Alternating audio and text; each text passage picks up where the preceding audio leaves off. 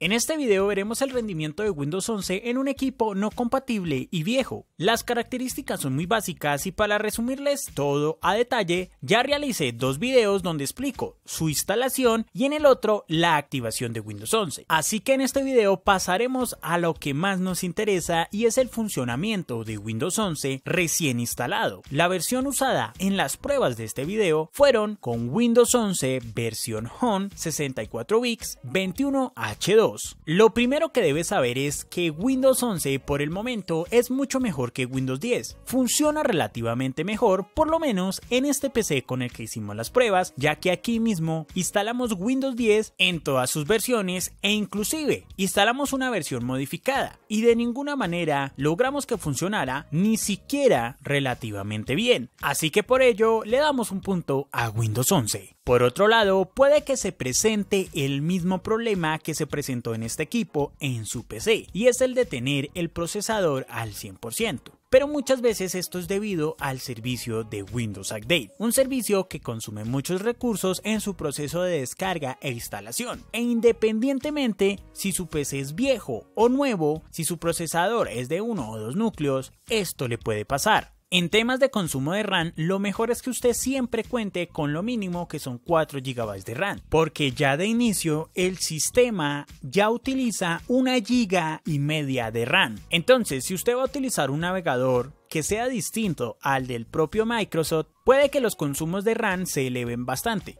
Y ya que el servicio de Windows Update es el que ocasiona que el procesador esté al 100%, esto no pinta del todo mal. Aunque en ese momento el sistema esté algo lento, también quiere decir que Windows 11, aunque está instalado en un equipo no compatible, está descargando e instalando actualizaciones algo que pone en tela de juicio el rumor que teníamos de que Windows 11 no tendría actualizaciones en equipos no compatibles. Así que por el momento, según las pruebas hechas, este rumor sería falso. Pero vamos a asegurarnos de que sea así. Desde el panel de Windows Update podemos ver que efectivamente se están descargando actualizaciones de seguridad y las actualizaciones acumulativas. Así que veremos qué pasa cuando ya estén descargadas. Unos minutos más tarde. Después de esperar varios minutos, podemos ver que las actualizaciones que se estaban descargando lo hicieron de manera correcta. Sin embargo, las que se instalaron y que tenían que ver con el antivirus ocasionaron un error, lo cual generó un daño que ya no permite entrar al panel de seguridad del mismo. Este nos envía a la tienda de Microsoft para descargar una posible aplicación para poder abrir este panel.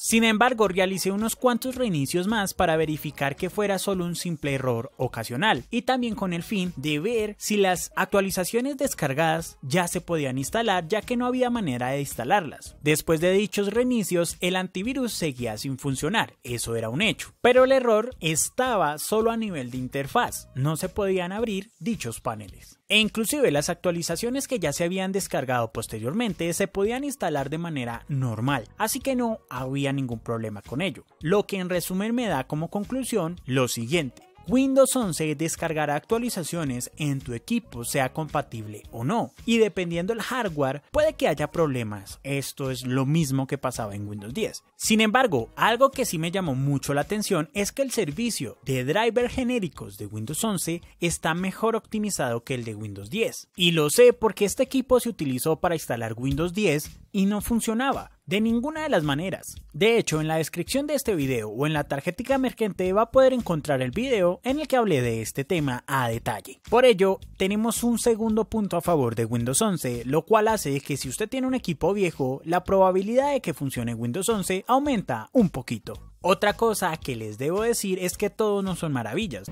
Ahora, ¿con qué pendeja pendejada me vas a salir?